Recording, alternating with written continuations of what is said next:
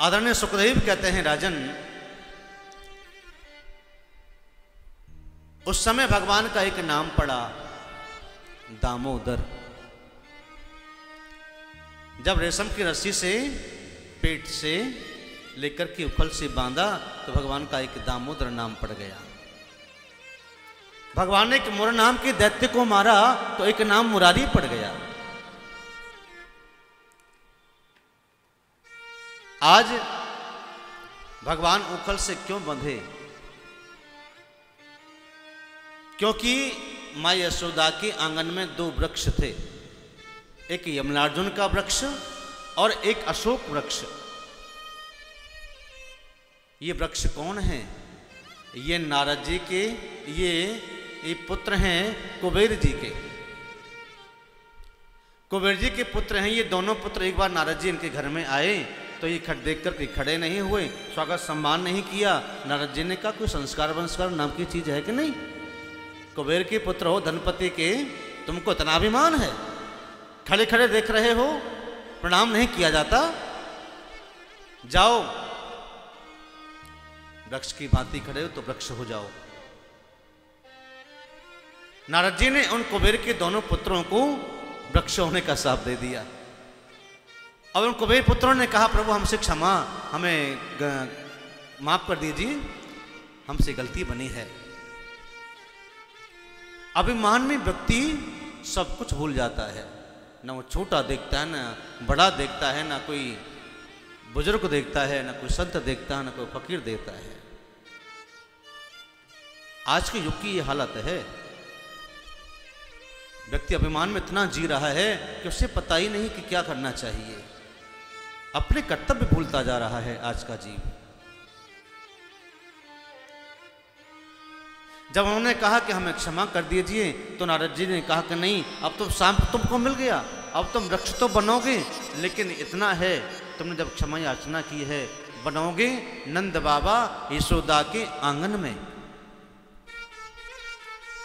तो आज जैसे ही उस मूसल को, उखल को लेकर के आगे गए उन दोनों वृक्षों के बीच में से तो भगवान ने अपने कोहनी का टहना लगा दिया, दोनों वृक्ष धड़ाम से नीचे गिर गए।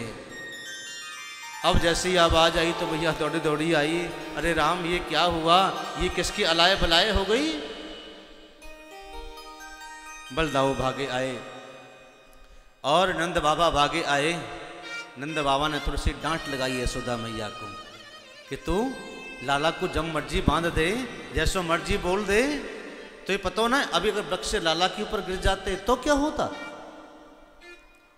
दाऊजी ने कहा मैया तेरे कहा बेंगारे हो लाला ने, जो तने उखलते बाँध दियो? ये यशोदा रोती हुई कहने लगी कि मुझे बहुत तंग कर रहे हो, ये हमारे मैंने बाँध दी हो जाए कि कुछ और सजा दे देती, कुछ और बोल देती। उन वृक्षों के नीचे से, जड़ से दो पुत्र निकल आए कुबेर के और भगवान से प्रार्थना करने लगे कि प्रभु, वृक्ष योनि से हमारा आपने छुटकारा दिलाया है। हम आपके चरणार बिंदों में वंदन करते हैं। ये कुबेर के दोनों वृक्ष, दोनों पुत्र जो है, भगवान की प्रार्थना करने लगे। कि वाणी, गुणान कथुने श्रवणो कथायाम हस्तो च कर्म सोमनस्ते उपादयो स्मृत्याश्रस्त्वनिवास जगत्प्रणामे दृष्टिं सदा दर्शने तु भवेत्तनु मम। वाणी गुणानुकथने श्रवणों कथायाम हे प्रभु, हमें ऐसा वरदान दीजिए कि हमारे कान आपकी कथाओं को श्रवण करें। और हमारी वाणी केवल केवल आपके नाम का ही जप करे और कोई कार्य नहीं करे। और हम दोनों के हाथ केवल परोपकार करें, दान करें, पुण्य करें। ऐसी कृपा कीजिए। प्रभु, हमारा मन केवल आपके चरणों में ही लगा रहे और कोई हमें जिज्ञासा नहीं, कोई इच्छा नहीं है। मन की तो सारी बात ही है। मन ही तो नहीं लगता। प्रभु, मन बहुत चंचल है। और इस मन को जितना समझाओगे, उतना ही ये और बाबरा होता चला जाएगा। मन बड़ा चंचल है। कितना इसे समझाऊं?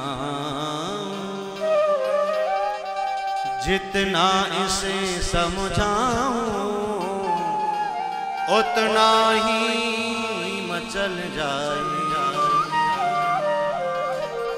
मन पर काबू पाना बहुत मुश्किल काम है। ये मन रूपी जो घोड़ा है ना, इसकी कोई लगाम नहीं है। अगर लगाम है तो वह है प्रभु कृपा। प्रभु के नाम का चिंतन धीरे धीरे धीरे धीरे, भगवान के नाम का चिंतन जब स्मरण करेंगे तो आपका ये छूटा हुआ मन, बिगड़ा हुआ मन, ये पागल मन हुआ आपके धीरे धीरे मन में, बस में हो जाएगा। कुबेर के पुत्रों ने कहा, प्रभु केवल केवल हमें आपके ही स्वरूप का, आपके ही धाम का, आपके ही रूप का, आपके ही लीलाओं का केवल स्मरण रहे और जगत का चिंतन स्मरण हम करें ही ना, ऐसी कृपा कीजिए। इस जगत में हमारा मन ना बसे। ये आँखें केवल आपका दर्शन करें। हमारी कोई और चाह नहीं है। ऐसी कृपा आप प्रभु करें। भगवान ने वरदान दिया। और कुबेर के उन पक्षों, पुत्रों का उद्धार कर दिया। बोलो, भक्त वत्सल भगवान की। सब्सक्राइब करें रामकृष्ण शास्त्री जी के YouTube चैनल को और हमारे वीडियोस को सबसे पहले देखने के लिए बेल आइकन को दबाना न भूलें।